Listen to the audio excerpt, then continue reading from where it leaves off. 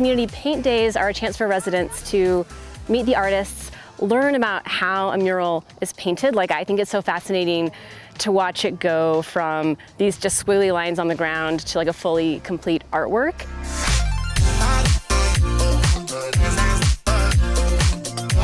Twin Lakes is just a beautiful park, so it's a great chance to enjoy Twin Lakes, meet the artists, meet some of your neighbors who also enjoy the park, and then be part of something bigger and be part of, you know, making artwork.